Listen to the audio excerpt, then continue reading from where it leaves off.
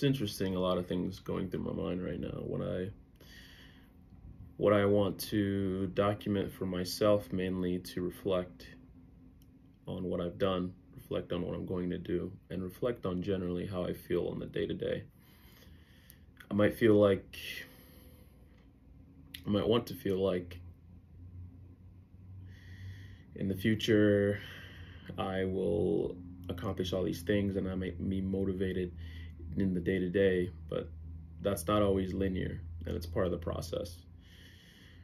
But the purpose of me making this is to kind of start documenting that journey, documenting that realness, that vulnerable vulnerable state of the reality of what it takes to live your life intentionally. And uh, these past couple days, as I've spent time with family, as I've spent time with a lot of friends over the New Year's, Christmas, Thanksgiving, I've talked to a lot of people around me that I realized the bigger pattern, the bigger picture really comes down to intentionality and being intentional across every single area of your life.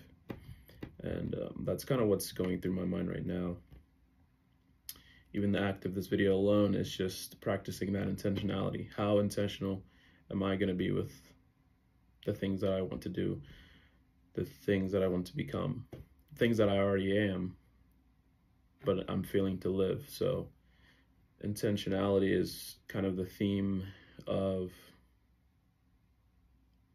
where I unlock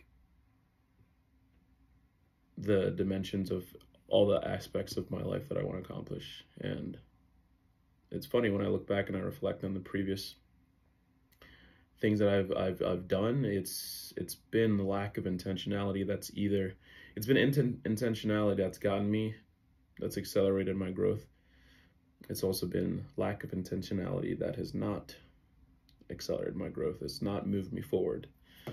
Um, so I'm excited to start with action in 2024. It's January 1st. It's 9:40, 2024. About to go to bed. But um, really taking the time to reflect on the day to day. And I think I'm, I'm excited too, just because it's going to make me more present in the day and actually not let it go by. So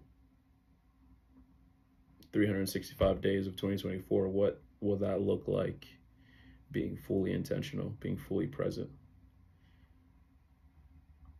That's the that's that's what it already is. It's just time to align with what is. So I'm excited to document that for myself.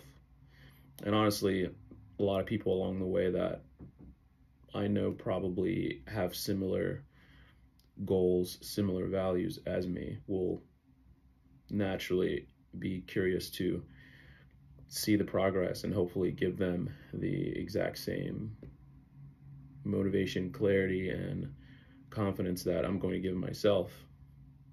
And yeah, closing out 2023, starting out 2024. Intentionality. Let's get it.